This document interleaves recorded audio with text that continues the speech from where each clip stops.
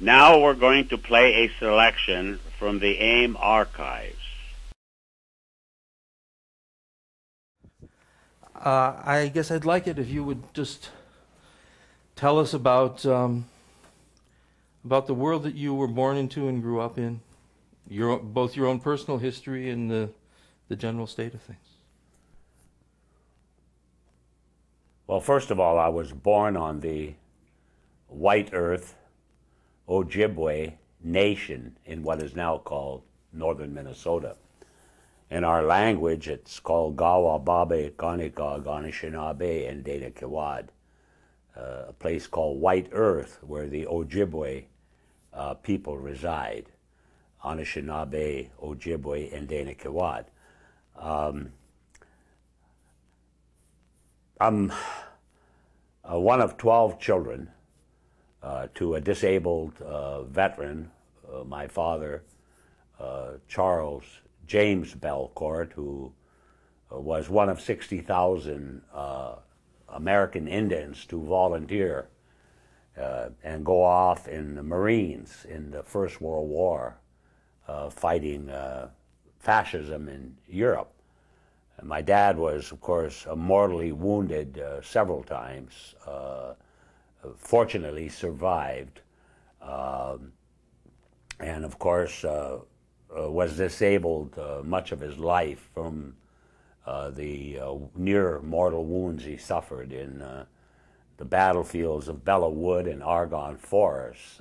if anybody knows the history of the First World War, they would know that the Marine Corps fought valiantly there against uh, uh, German imperialism, and of course they were told they were fighting to save their country.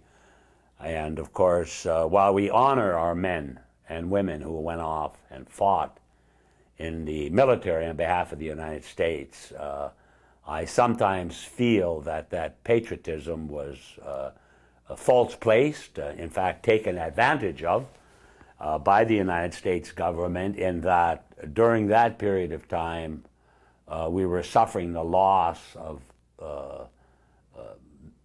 hundreds of thousands of acres of land, uh, perhaps as much as 100 million acres of land that had previously been reserved uh, in supposedly uh, treaties, legal contractual agreements between supposed uh, honorable people. And while our people always approached it with honor, uh, we feel that the United States government had continuously uh, walked on their own words each and every time before the ink was even dry on the paper. And of course, I'm referring to the many treaties that were made between sovereign, uh, indigenous, colonized nations and the United States government. So my father was one of 60,000 American Indians who volunteered. They didn't have to be drafted. Uh, they were told you're going off to fight and save your country. And of course, I just explained how a massive amount of our country had been stolen uh, during that period of time while our men were off fighting uh, the war. I say men because at that time it was pretty much unheard of for women to go into the military. That happened much later in the Second World War. And one of the matriarchs of our family, my older sister Maxine, was one of the first uh, American Indian women who served in the a women army corps. They called them the WACs. I remember as a small child, I recall her coming home in her uniform.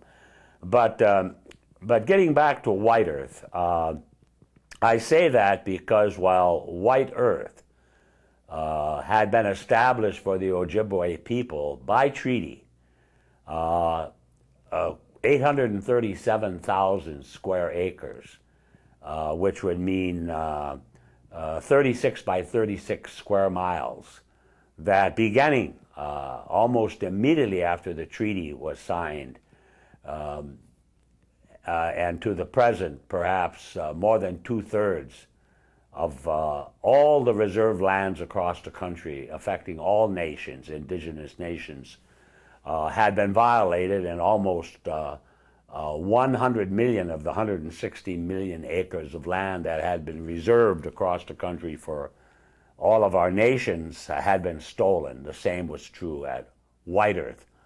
So uh, as a child, I grew up, uh, uh, as I recall, uh, I, I, experienced racism at a very early age because obviously with uh, so much of our land, perhaps 90% of it at White Earthwood, had been stolen through different uh, conspiracies between the state of Minnesota, county governments, and of course the very large corporations who wanted our uh, resources, particularly timber and grazing land resources, um, uh, had been exploited, not to the benefit of our people, who, for the most part, uh, most remained in, locked into chronic cycles of poverty, uh, which oftentimes, and in fact, breeds uh, despair, uh, frustration, uh, leads to many times chemical dependency, uh, battered families, uh, broken homes, shattered dreams, and no hope for the future. So that was kind of the uh, environment in which uh, many of us of my generation uh, grew up in. And we, in fact, were the vital link to the past generation that experienced the same type of abuse in the late 1800s, particularly my mother and father and uh, other of the elders on the reservation on the Ojibwe Nation who I had a great opportunity to have a chance to, uh, uh, to talk to and to learn much of the oral history of our nation uh, called uh, White Earth. So um, uh, I was born into a, a, a great generation, uh, having had the uh, privilege of being knowing the older generation of the past century. Uh, I learned so much as a child. Uh, but one of the things I experienced almost immediately as the settlers, and on White Earth it was primarily uh, Germans uh, leaving their countries of their origin and coming to Minnesota. Many of the uh, German immigrants came in and literally began to steal land in a conspiracy with the state of Minnesota and the counties of Becker, Clearwater, and Mahnomen County, who still encroach into our sovereign territories. Uh, so at a very early age, I experienced uh, racism by the, the non-Indian, uh, primarily Caucasian American merchants, uh, educators, teachers in the school systems, whether it was a public school or whether it was a parochial school, I experienced very early on uh, uh, insensitivity on the part of teachers, both within the Catholic Church and within the public uh, school system. So at a very early age, I experienced that sort of racism. Um, I didn't know what it was at first, and then later on I began to figure it out that it was part of a condition of a people coming from all over the world, settling in and among on Indian land, and they themselves uh, denying their own culture, their own history, their own tradition, their own values, language, music, art that almost immediately American immigrants coming to this country began to inflict on themselves cultural uh, genocide. And, and I think the problem today is still the same in that a people that don't know themselves were totally incapable of understanding the beautiful tradition, music, art, culture of those people whose lands they were occupying coupled with the fact that we were a reminder to them that they were living on stolen land. And the best defense for them is to get offensive, uh, both in word and deed. And so many of our people were the victims of physical abu- abuse, uh, mental abuse, psychological abuse um, by these uh, settlers who came and lived among us, settled on our land illegally. So uh, very early on in school, I sensed uh, the teachers were not very interested in helping the Indian students and would oftentimes pass right by us to go to the white students and to help them uh, with their uh, schoolwork or whatever problems they may have. Uh, but uh, in spite of that, and coming out of a condition of poverty, my father being a disabled American Indian veteran on a fixed pension, um, it was difficult sometimes to make ends meet. But my mother, who brought 12 children into the world, uh, and of course, there were probably always six or seven or eight of us at home. I recall my mother, uh, uh, she would bake bread and cinnamon rolls every other day. And the day she wasn't baking, on a wood stove, incidentally, which is today most women wouldn't know how to do that. Uh, and the day that she wasn't baking bread and cinnamon rolls and cookies, uh, that was the day she would wash clothes. So, in spite of the fact that we had so little, uh, materialistic things that uh, she always kept a very immaculate home. I remember that she would be on the floor with a scrub brush and uh, perhaps some type of uh, Hilex or something in the water. And uh, eventually, after the wood floor being scrubbed so many times, it actually turned almost a very light, uh, light tan color, uh, but very clean. So while we didn't have no electricity or running water. It was unheard of in those days. Um, uh, we all had to use an outhouse. And there's a lot of humorous stories uh, surrounding the outhouse. Perhaps we can talk about another time.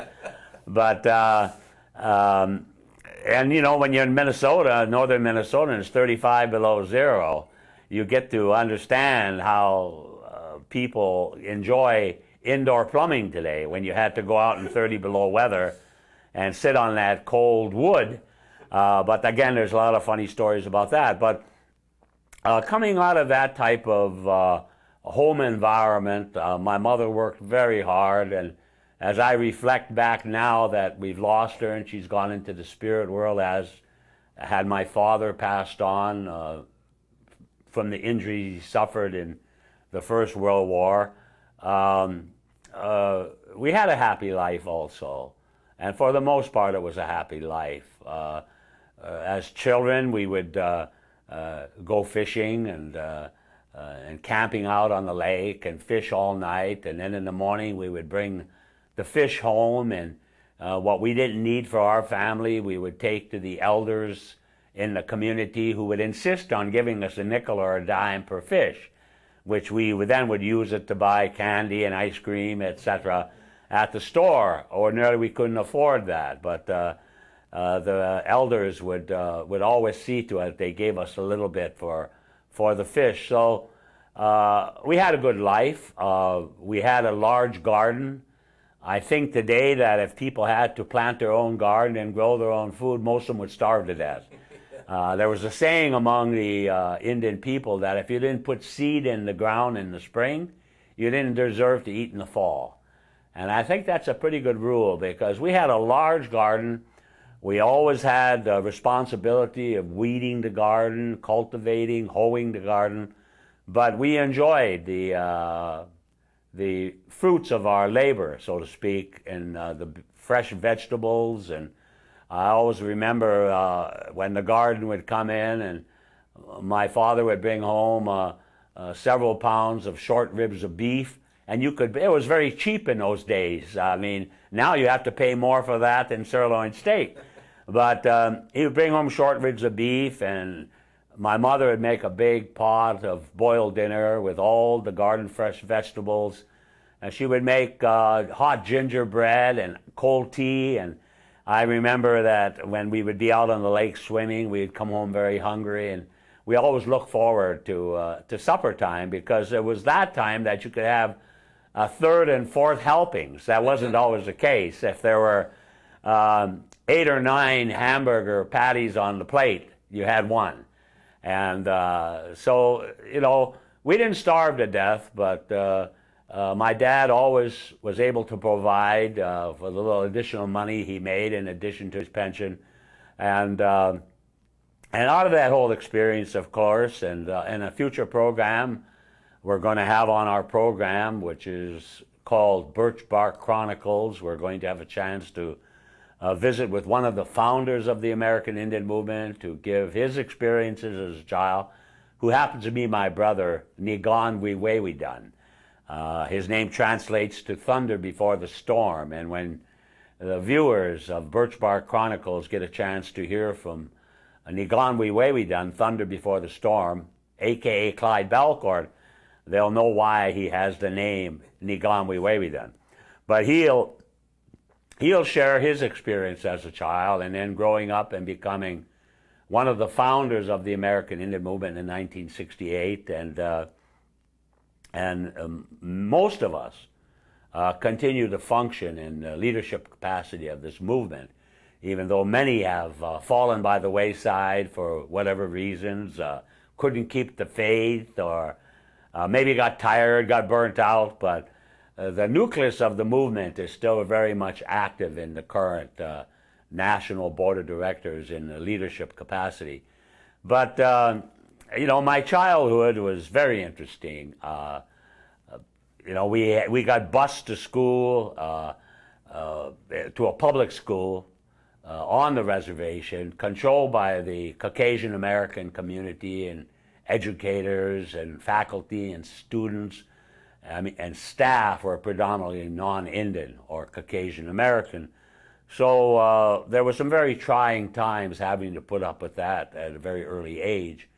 I recall, uh, for no reason at all, my first day in the first grade in a school called Waubun on the, uh, uh it's a community on the White Earth Ojibwe reservation nation uh, Waubun, uh, I don't know why, but uh, um, the teacher wanted to slap my hand with a ruler, and I guess I called her some kind of name.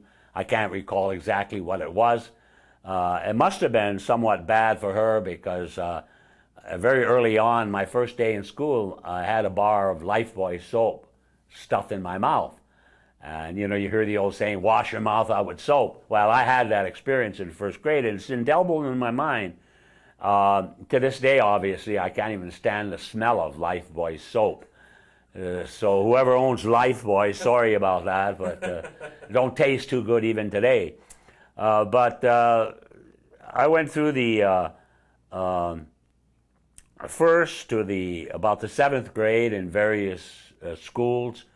Um, we moved to the community of Minneapolis and St. Paul a couple of times, so I spent some time in elementary school in St. Paul, Minnesota. Eventually, moving back, as most of our people do, they migrate back to the uh, reservation, back to the uh, to the Ojibwe community, and uh, ended up in the ninth grade at a uh, uh, at the same school. I went to probably the seventh and eighth grade to a parochial school and then I ended up at the same school in the ninth grade at Waubun.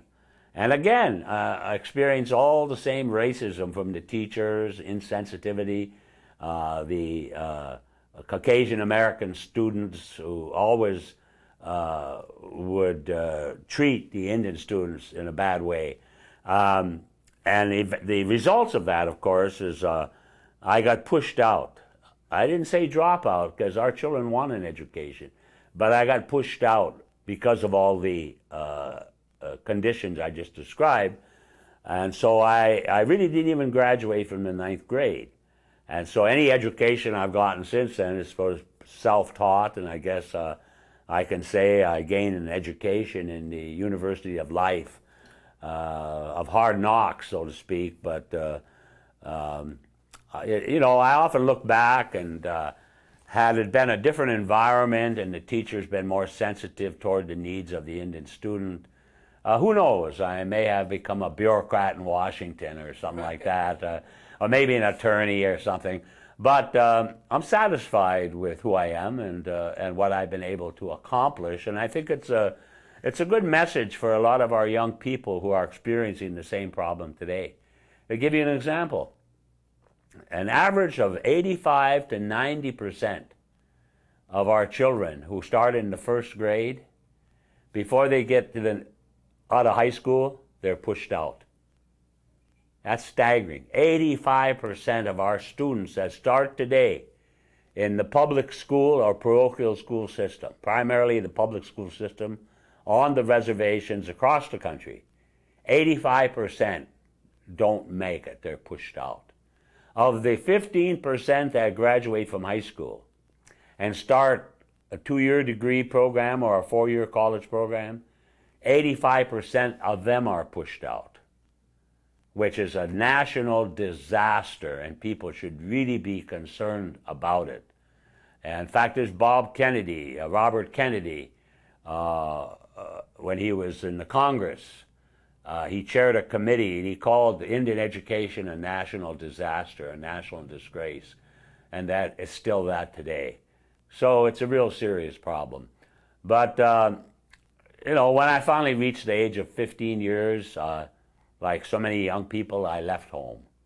I went out into the world and started taking care of myself for the most part.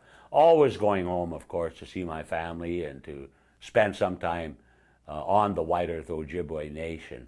But uh, uh, there are so many uh, stories we could tell about uh, as a youth, and perhaps sometime on another program we'll kind of revisit that subject and we can talk more about it. Well, I have a couple of questions sparked by what you just have said here, but uh, first I want to make the observation that uh, your comment about the Germans coming over, leaving their country, so maybe we would all be better off if the Europeans had used their energy to make the countries they were born in better, livable, rather than rather than fleeing Yeah. and coming over to devour what what they found here because uh, it seems it seems to me like part of the part of the keynote of our culture is that there's no energy whatsoever putting into put into making the world livable, making your you know and, and here in the modern day in Minneapolis and Chicago, wherever the real estate prices are going up, neighborhoods are just taken apart, and it all has the effect of uh, no rootedness. But but anyway, the question, the couple of questions I had were I'd like to comment on that. Sure, go right uh, ahead. point. Uh, I wanted to elaborate on it earlier, but um, you know the rationale for most people coming to what they call the New World, which wasn't new at all. It had been here inhabited by uh, perhaps as many as 16 million uh, members of different 500 and some different indigenous nations in in the, what's called the United States alone, probably as many as 16 million. Some people said perhaps more like 20 million. Um, but another 100 and some million, 200 million in Central and South America, indigenous people who are also being decimated uh, because of the same condition. But um, the rationale for uh, most uh, immigrants coming here was to, uh, because of uh, spiritual, cultural uh, persecution, economic persecution, intolerance.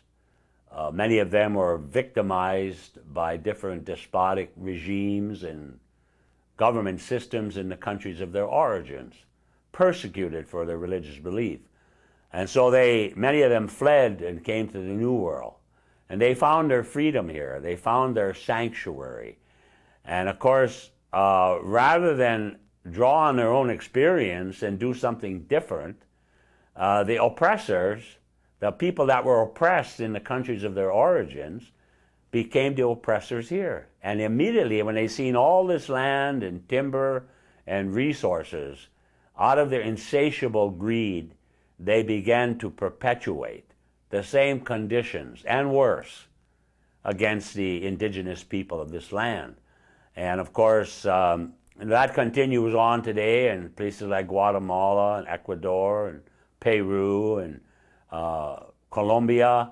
Our Indian people are still being victimized by European uh, settlers.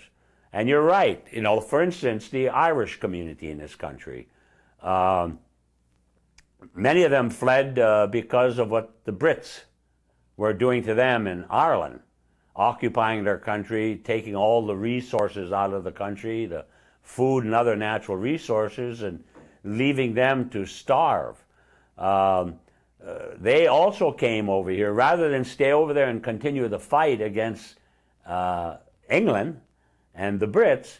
Uh, many of them fled and come over here, and of course, coming out of Boston, many of them ended up in the Seventh Cavalry of General George or Colonel George Armstrong Custer, and came out and slaughtered Indians. We're very good at it, and uh, you know, of course, I've had the great honor of speaking at the National Sinn Féin conference in Dublin, Ireland. I met many of the prominent leaders of the Sinn Féin movement, the uh, the Irish Republican movement. Uh, many of them are my dear friends, and they know their language, they know their culture, they know their history, so they're much more sensitive toward our cause than the Irish that fled the conditions over there and came over here.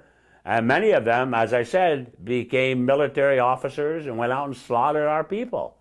Uh, the others became plantation owners and enslaved Africans. That's why you see a lot among African community. You still see a lot of names like uh, uh, Irish names, like Sullivan and others like that. So uh, it's, it's true. Uh, a people that came here to find freedom almost immediately forgot what they came for, reversed their roles, and they continue to perpetuate the American Holocaust against our people.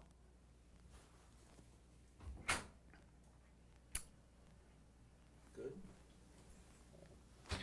Should I kind of stay in one place? Is that what you want me to do? Is this okay? We're Okay, good. now how much how much la- uh, latitude did I have here? We're good. I'm just getting you so you so there's room to, Oh, okay. To do all that. Everything's fine. Everything's fine. Yeah, one thing about the three cameras is it pretty much guarantees we'll have a good shot of any Mm-hmm. particular moment. as soon as he's set here, um, um, Yeah. Okay, so I would like to. Um, right, so the the Europeans who stayed in Europe and co- and stayed connected to their culture and land have maybe have more in common or more ability to understand the native people of this continent than than would the people who left their land, left their culture, and sort of came out in a free for all and well, when you were talking about, um, You know, when I uh, I've traveled quite extensively throughout the world in, in my work with the American Indian movement beginning in 1969. The movement started in 1968 here in Minneapolis, Minnesota, uh, out of the urban Indian community where many people had been relocated into various urban communities, and we can talk about that also another time. But um, I. Uh, uh, I became involved in the movement here in Minneapolis in 1969. And that work has taken me around many parts of the world. And what I found out because of what we just discussed here, that there's a tremendous reservoir of goodwill worldwide toward our cause and toward Indian people. And many times, Europeans and other peoples of other parts of the world, uh, because their educational systems or their curriculums, they have a better understanding of who we are than most Americans do. And the reason for that is because they still know who they are. They place great value in their music, art, culture, traditions, uh, values. And so there is a tremendous reservoir of goodwill out there, but it's something that Americans lose immediately when they come here. And again, just to repeat, uh, when they don't know themselves, don't know their own language, don't know their own culture, they tend to be very intolerant toward other people of color and other people of culture. so I wanted to ask a couple of things about what you've already talked about. Um, first, you talked about how the treaty was signed giving uh, uh, whatever set reservation land uh, to the Ojibwe people, which immediately began to be uh, cut into by the very basically anybody who thought they could get away with it, right? Exactly. Mike, okay, so but that is occurring. the the The treaty itself is essentially a huge cession of other land. So my, I guess my question is, stepping back a hundred years before, where did the Ojibwe people live? I guess any comment about just sort of what the social life was, and and and a little bit about what they gave up signing that first treaty, even though that wasn't the end of giving up. But you know, what was that uh, initial step of going onto the reservation into the first place? Wabananini Indigenous Aji Indo Dame, Gawa Babi Kanika Ganishinabe, and Dana Kiwad. What I said was that my real name is Wabananini, which translates to man of dawn, daybreak man, or uh, well, there are many different interpretations of it. It it don't mean any just one thing. It means all the conditions that occur in the morning, just uh, while the morning star is out, just before daybreak, and the dew on the grass, the birds singing. But essentially, my name would translate, which is Wabananini, would translate to man of dawn. And I also said Aji Jok Indodame. I'm a member of the Crane family or Crane clan. And I come from a place called White Earth where the Ojibwe people live, which is currently in northern Minnesota. It's one of seven Ojibwe nations, distinct uh, sovereign nations in northern Minnesota. Uh, but before that, um, and I'm doing research, of course, now for a book, and so I've been able to get a lot of information. I'm already back to the uh, 14, 1500s and uh, 1600s. Uh, so I've done, I've traced my roots back, and uh, uh, we, the Ojibwe, at one time, the whole nation, that is the Indian, the Ojibwe in Michigan, Wisconsin, Minnesota, North Dakota, Montana, at least a couple of provinces of Canada. Uh, many of them still live on their ancestral lands, but the headquarters of the Ojibwe Nation was an island in Lake Superior called uh, uh the Island of the Orange Breasted Woodpecker. Uh, it's a very long name, I can't even pronounce it. But uh, most people would know it today as Madeline Island and uh, it's one island in what is called the Apostle Islands. And of course, you can also see the Christian influence here. And 12 islands became the Apostle Islands. That was the Jesuit missionaries and, and French merchants that came down among us, trappers, etc. And um, um, Madeline Island got its name from uh, uh, the daughter of White Crane White Crane, who was the son of Neck of the Earth, our great hereditary chief. White Crane uh, had several children, but he had one daughter. Her name was Ikwewase, which translates to traveling woman. She met uh, a man named Michael Cadot, who was the uh, son of John Baptiste Cadot. Uh, John Baptiste Cadot was a French trapper who was the agent for John Jacob Astor, who was a wealthy East Coast industrialist who uh, moved further and further on the frontier, and in our case, to exploit the fur trade, the timber, and the uh, mineral rich lands uh, in and around the Great Lakes. Uh, so, John Jacob Astor was one such thief that came among us, and his agent was John Baptiste Cadot. His son, Michael Cadot, uh, uh, started to romance Ikwewase, traveling woman. Um, our great hereditary chief, uh, White Crane, didn't want her to have anything to do with this Frenchman. Uh, he tried to stop them, but she ran off with him and married him in Sault Ste. Marie. Um, the settlers who already were starting to occupy our lands, the headquarters of the Ojibwe nation was La Pointe, Wisconsin, on what is now Madeline Island. And already the East Coast settlers from Virginia and other states started to come in and steal land on the islands for their summer home.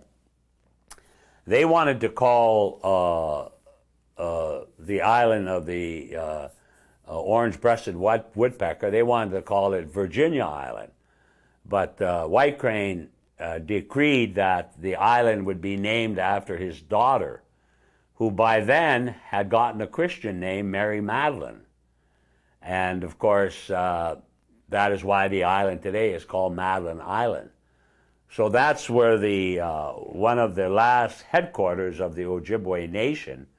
And then because they come in and wanted to steal all of this land and resources and timber, uh, they dispersed us. We were scattered uh, across several states, as I named earlier, and that's how we eventually arrived in northern Minnesota. So really, Madeline Island still belongs to the Ojibwe Nation. And of course, um, I'm in the process of writing a book about that whole history, both on my mother's side, going back to the great chiefs of the Ojibwe Nation, but as well on my father's side, the Bellecourt, which is a French name. And uh, my ancestors originated from the Normandy area of, uh, of France. And uh, that's, that'll be another whole story and discussion there. But uh, we got scattered to many different reserves in Wisconsin, Michigan, Montana, um, North Dakota, uh, Ontario, uh, probably parts of Manitoba. So our the Ojibwe nation was really scattered. We still are one of the largest nations to have survived the American Holocaust. So, having both native and French ancestry, you, like like I would think many people, native people, uh, literally hold all of this within within you, all the elements of what of. you have roots that go back in two directions. Yeah, exactly, and uh, it's a very it's going to be a very interesting book. Um, it's such a massive project uh, to try to trace uh, to uh, give an accounting of my roots on my mother's side of the family, which goes directly back to Neck of the Earth, White Crane, Ikwewase, Traveling Woman, uh, Mary Madeline, uh, all of that. And in that period of time, in the 1700s, um, a man by the name of Lyman Warren, whose father got off the Mayflower, um, or maybe it was his grandfather, uh, got off the Mayflower. His name was William Warren uh, who got on the Mayflower, I think, in, uh, in Scotland. Uh, so, on that side of the family, the Warrens also married in uh, to our family. And so I, I, guess I can say I trace roots back to the Mayflower and to England and Scotland. But and my mother used to always say that we're part Scottish, and of course uh, we're part French. Um, but predominantly of the blood, Indian blood, uh, prevails, uh, Ojibwe blood. But uh, it's, that itself is a very interesting story. The interrelationship between the Ojibwe people and the French missionaries, merchants, trappers, uh, the industrialists like John Jacob Astor, who came in and exploited uh, the resources and then on my father's side, uh, my ancestry comes from the Normandy area of France. And um, when they arrived here, uh, Jules Trottier was the first of my relatives to arrive at Three Rivers in, uh, in Quebec, where a lot of the French would come in to the Three Rivers area. Then they would scatter across Canada and, and of course, what is now called the United States. Uh, but for some reason, at that time, it was customary for when the elder would pass on, the children would all take different names. In my research, I haven't found out yet why, whether they were trying to cut ties to the old country of France or what it was, uh, but they would change names. And uh, of um, eight children, daughters and sons, I think there were four daughters and four sons uh, one or two of them um, took the name Belcourt in some form or another. Some would have spelt it B E L E C O U R. Uh, some spelt it Belcourt or D Belcourt. They had the French uh, version of it. And one name that stands out is uh, he was a Jesuit priest. His name was Father George Belcourt. That name, incidentally, is very prominent yet in Canadian history and the Red River Valley history up around Pembina, North Dakota, and Manitoba and Minnesota, that area of the Red River Valley where the French uh, trappers and merchants came down in ox carts to what is now called uh, Coldwater Springs in St. Paul and Minneapolis, which is a very historic place by Fort Snelling. So uh, Father George Belcourt found himself the chaplain in the provisional revolutionary government of Louis Riel. Uh, Louis Riel uh, was characterized by the authorities in Canada as a half breed Indian that went off to London and got an education and came back with uppity ways. And his uppity ways was he could see the terrible treatment that Ottawa was giving and the provinces were giving to the uh, both the Crees and the other tribes, but primarily the Cree Nation, and the Métis, which by then was the uh, children of, uh, of relationships between the Cree and the French trappers. So they refer to themselves as Métis. I guess in the Southwest it's mestizo. This is the French version of Métis.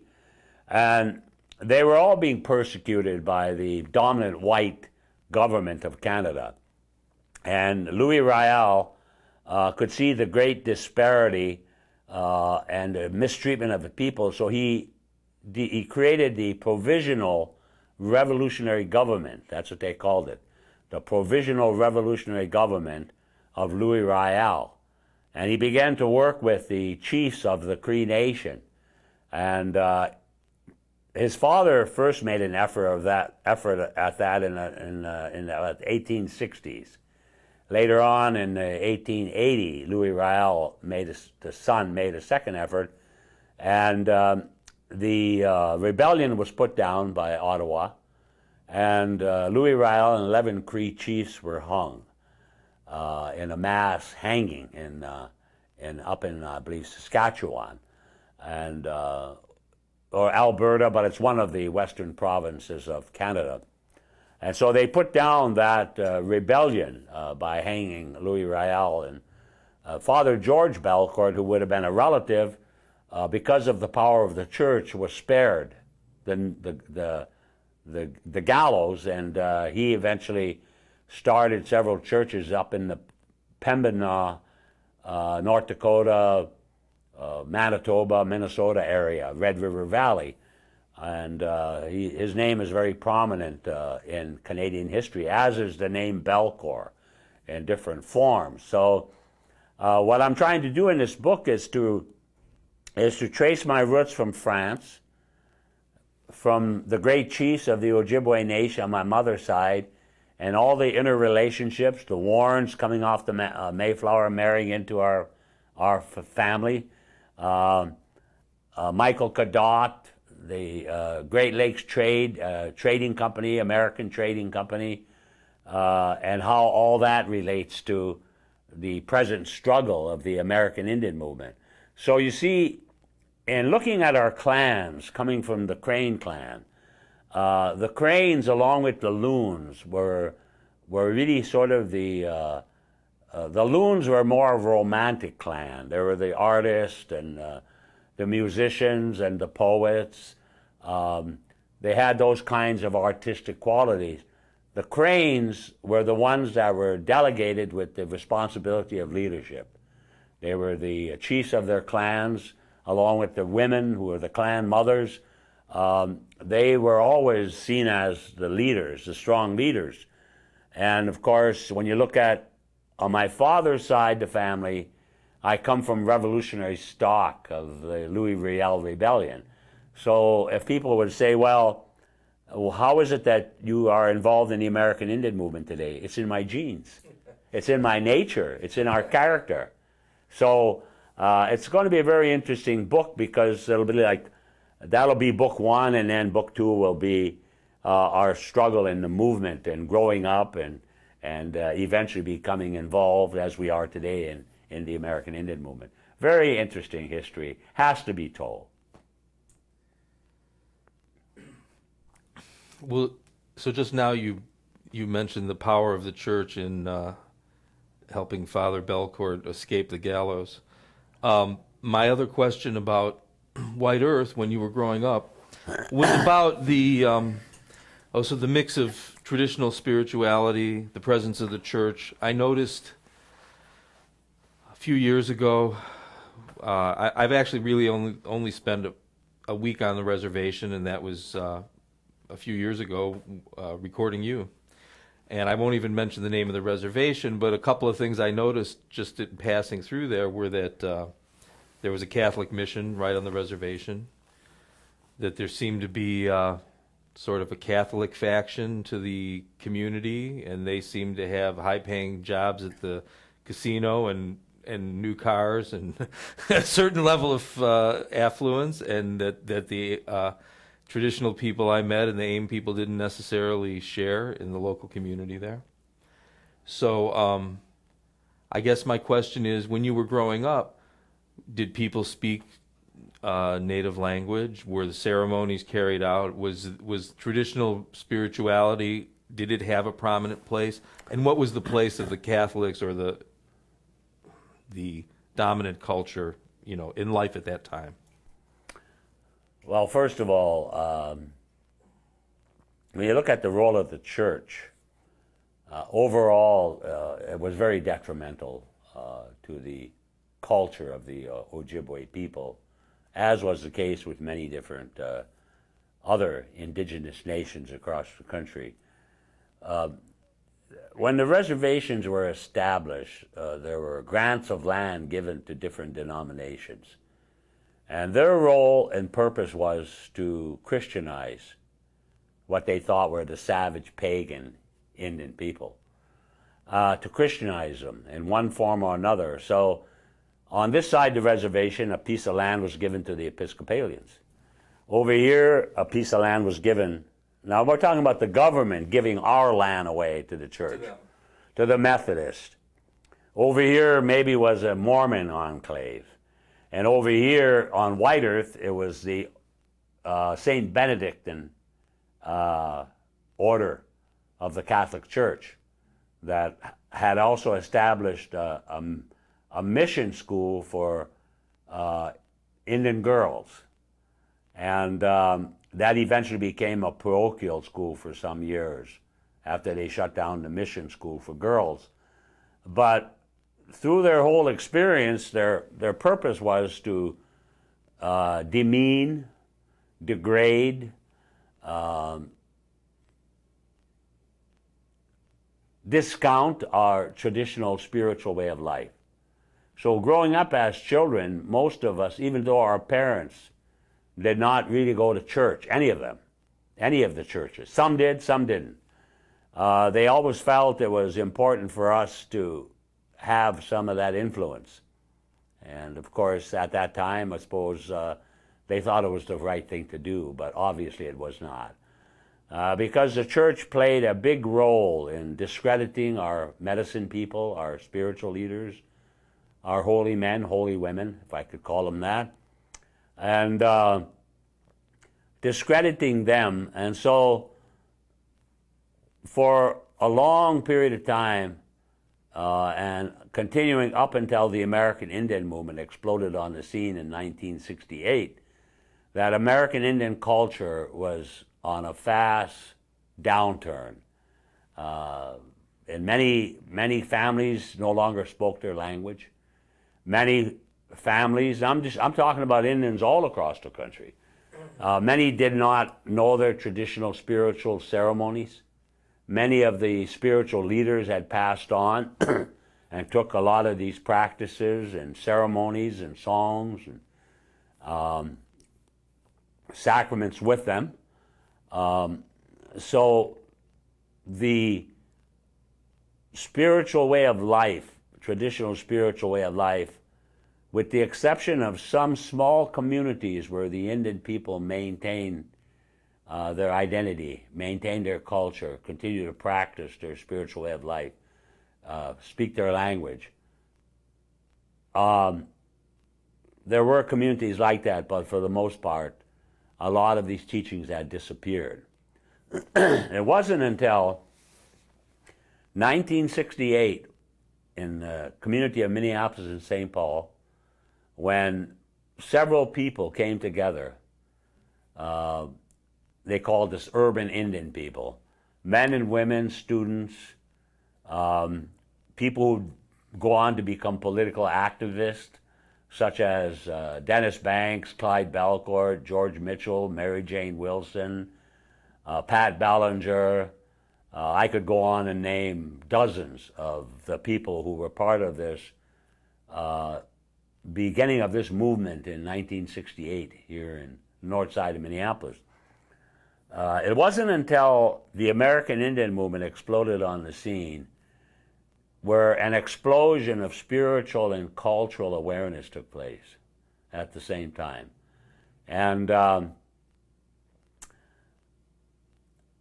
it was through this explosion of spiritual and cultural consciousness about Indian is proud, uh, Indian and proud, uh, uh, that it changed things forever.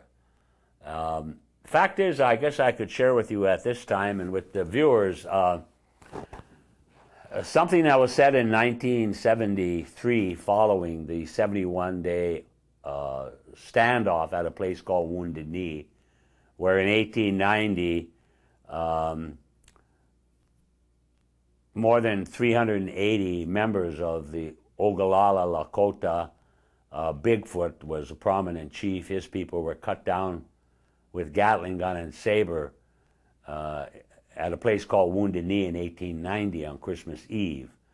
And that was retribution, of course, for the Lakota, Dakota, Nakota, Cheyenne, Arapaho, and other tribes taking on General George, uh, Colonel George Custer at the Battle of the Bighorn um, some years before. So the massacre at Wounded Knee was Wounded Knee was retribution for that great victory uh, by this coalition of nations. A man by the name of uh, Kills Straight was asked a question by an Indian journalist by the name of Richard LaCourse. During Wounded Knee 1973, uh, journalists from all over the world came to uh, South Dakota to cover this story, which was uh, an international event. Um, the questions that were always asked was, what is the American Indian movement? And what's going on at Wounded Knee? You've been listening to a selection from the AIM archives.